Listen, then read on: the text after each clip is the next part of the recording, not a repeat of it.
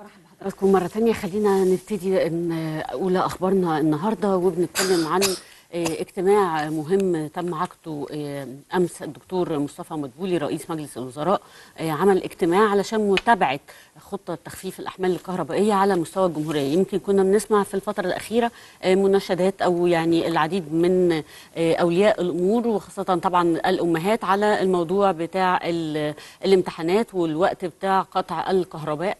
علشان يعني كان بتتقطع الكهرباء بالليل وطبعا الطلاب سواء ما كان في المراحل العمرية المختلفة بيمتحنوا فدايما كان بيبقى في مناشدات إن بلاش يبقى في قطع للكهرباء في فترة الليل لكن نخليها صباحا بشكل أفضل. وده طبعا تم استجابة سريعة. المستشار محمد الحمصاني المتحدث الرسمي باسم رئاسة مجلس الوزراء قال إن الحكومة استجابت للعديد من الطلبات المقدمة من جانب نواب البرلمان والمواطنين بالتأكيد وده علشان يتم تغيير مواعيد تخفيف أحمال الكهرباء خلال الفترة الحالية وعدم انقطاع الكهرباء ليلا مرة ثانية عشان طبعا الامتحانات بالنظر لبدء أعمال امتحانات منتصف العام.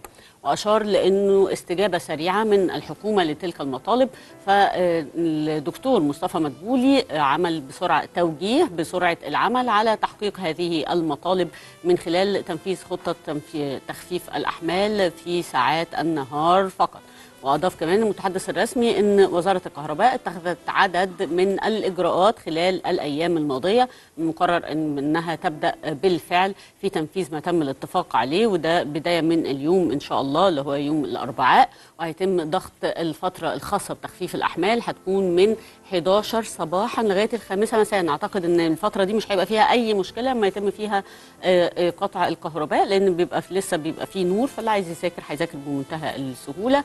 وكمان الوزارة أعلنت جداول تخفيف الأحمال لكل منطقة وده هيكون ساعتين لكل منطقة بحيث إن الفترة دي تنتهي إن شاء الله في الخامسة مساء. طبعا بنتمنى لكل ولادنا وكل اللي في كل المراحل العمرية التوفيق بالتأكيد. ونذاكر كويس أهو ما فيش حجة خلاص ما فيش قطع الكهرباء فنبتدي نذاكر بقى. ربنا يوفقنا